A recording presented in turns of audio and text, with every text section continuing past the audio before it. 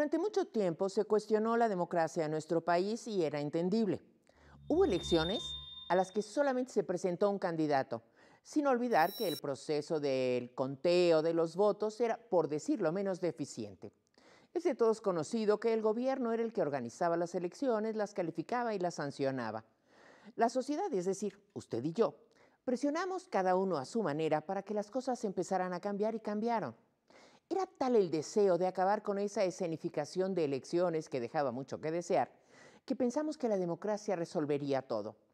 Y no, no fue así, porque la democracia no resuelve todo, aunque vale la pena aclarar que sin democracia resulta más difícil resolver los problemas.